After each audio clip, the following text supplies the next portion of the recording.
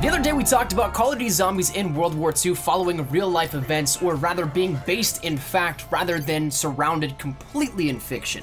Yes, a lot of this is going to be made up narrative simply because, well, zombies never actually happened in World War II, but based off of some facts, that will be the stems and the building blocks for what we see in the Call of Duty Zombies mode. But a couple of things also that were mentioned out of the same interviews with Glenn Schofield and Michael Condrey talking about the Zombies mode and multiplayer and campaign and all that kind of stuff gave us a little bit more insight into what we could see here in terms of how the game will play, what it might feel like, and maybe even a little bit of a different view overall in general. So that said, we're gonna be talking a little bit about zombies a little bit more than what we did the other day, talking about a potential third person mode, the horror aspect of it, and what we can see in terms of familiar gameplay. So with that said, let's jump right into it. Once again, recapping a little bit here with this, Michael Condrey and Glenn Schofield did an interview with Edge Magazine a couple of days ago, in which they gave some information about campaign, multiplayer, and zombies, but not all that much was said about zombies, simply that it would be based off of real life situations that happened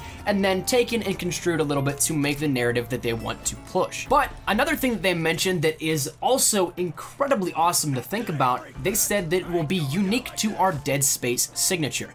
For those of you guys that don't know too much about Sledgehammer, they worked on a series called Dead Space, which was a major hit about a decade ago at this point, which then followed up all the way up until Dead Space 3 in 2013. But basically, Dead Space was this on the edge of your seat horror thriller type game, and it was something that was absolutely fantastic. If you've ever played it, you'll know exactly what to expect. You're definitely gonna get some chills, some jump scares, things like that, and it's something that some people might be a little bit cautious going into World War II Zombies if it's anything like this, simply because it was unnerving. But Dead Space aside, taking what may be some of the signature feels from it, we can start to maybe piece together a little bit of a visual and representation of what we can get for Call of Duty World War II Zombies. And one of the more prominent things being the third person mode. And this is something that might throw some people off, some people may not like this, but it does fall in line with a decent history that Sledgehammer has with third person.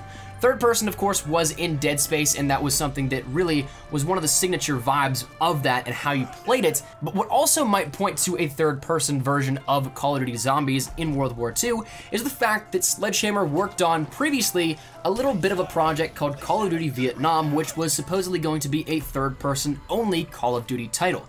That was later scrapped and then pushed to the side and then ultimately canceled because Sledgehammer got brought on board to work on Modern Warfare 3 with Infinity Ward to try and help them make make the deadline for that release. So once they got put onto that, that was kind of pushed to the wayside and then eventually canceled but the history of third person is still there, and a lot of people from Sledgehammer, when interviewed, said that they loved that development of that game. So perhaps we see the Dead Space and Vietnam gameplay style come together into one and keep that overarching third person mode. As for the gameplay and the genre overall, I definitely think this will be the scariest game of the zombies iterations that we've seen thus far in Call of Duty, simply because Dead Space once again was that unnerving horror type of game that really just pitted you on the edge of your seat. I definitely think this will be it, and it'll be interesting to see how it plays out because Dead Space was also a survival game, so if you put it into that context, we don't necessarily need to do round-based things, more so just maybe how long you can survive.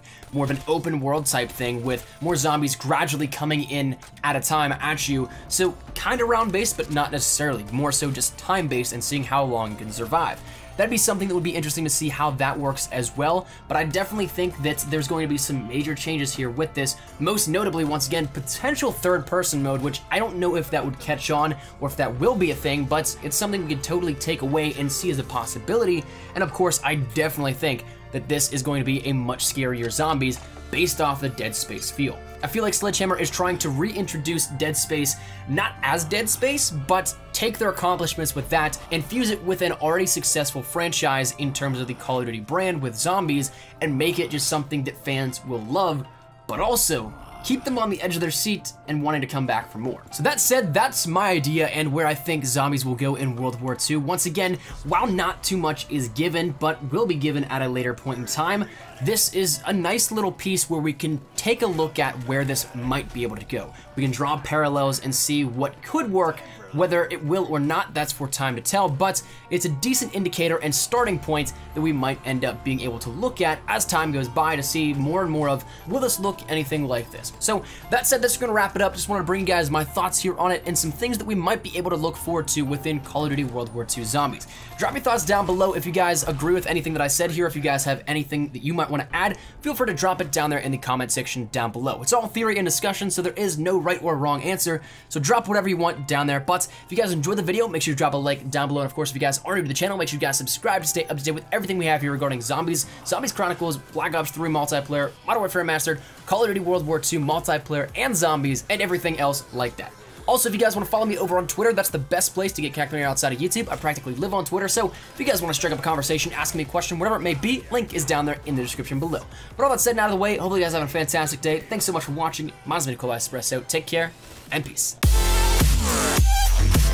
Thank you.